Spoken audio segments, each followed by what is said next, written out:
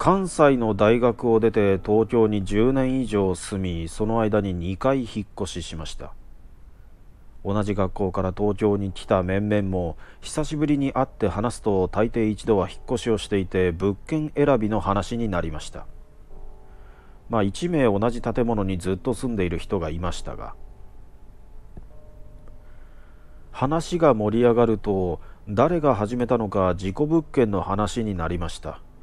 私も東京へ来たばかりの時に池袋駅徒歩5万の事故物件を、えー、打ち見していてその物件は1ヶ月前に中国の人が、えー、亡くなった、えー、亡くなり血もきれいに掃除されているとのこと。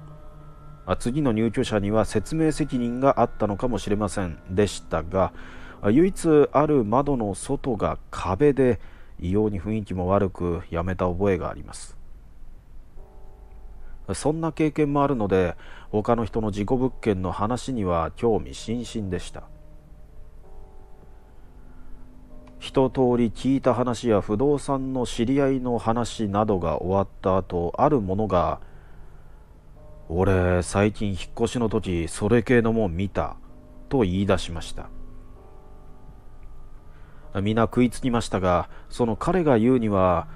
そこは広さの割に異様に安かったので仲介業者にここを見たいと言ったそうです。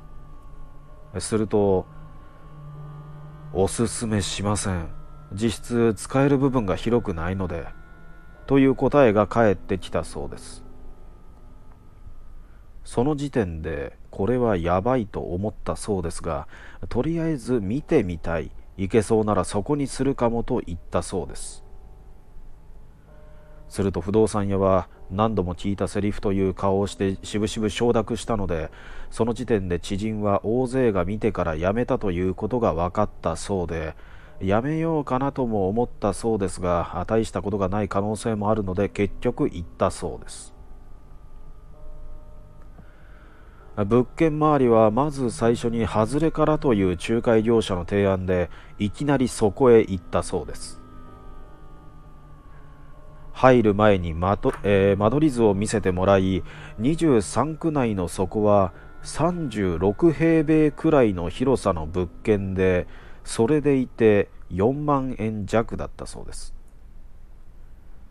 入り口からまっすぐ廊下で右にまず水回り。次に右に引き戸。まっすぐ進むとキッチンで L 字に右に曲がると最初の引き戸と同じ部屋に通じる引き戸。突き当たりに1部屋という構図だったそうですがその最初の廊下とリビングの引き戸に L 字に囲まれている一番大きな部屋が問題で開けるなということでした。住んでいる間開けてはいけないということは実質使える場所が半分ということで知人はさすがに脅かしすぎだろうと思ったそうです。実際に物件に入るととにかく薄暗い。壁紙が白なのに空気にセピアの色がついた感じだそうです。で一通り部屋を案内された後仲介業者が問題の部屋を見せると言ってきたそうです。開けるのは良くないがとにかく見ないとわからない。でも住むなら開けるのはこれで最後。と言われた知人は仲介業者が引き戸を開けるのを一歩引いて見守っていたそうです。開けると畳だったそうです。一歩前に進むと強めの強めの口調で「あ入らないでください眺めるだけ」と言われたそうです左の仏壇は見ないでください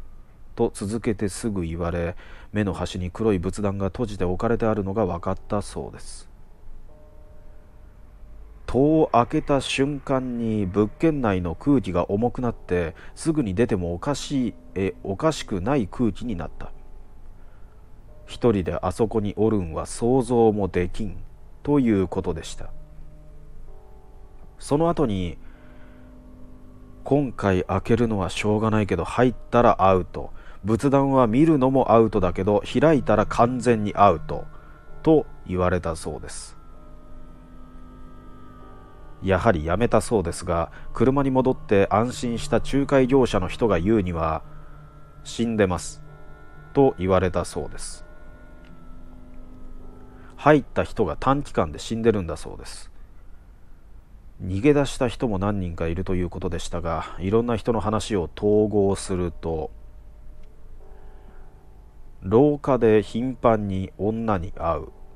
玄関を開けたら角を曲がっていく後ろ姿が見える。追うといない。仏壇から老人が出てくる。出てくる時は動けない。出てきた瞬間にみんな飛び出して逃げている。この2つは共通していると言われたそうです。話は以上ですが多分自分もこの物件はやめるだろうと思います。霊感とかそういう話はなかった。みんな見ると言ってた。とは知人の段です。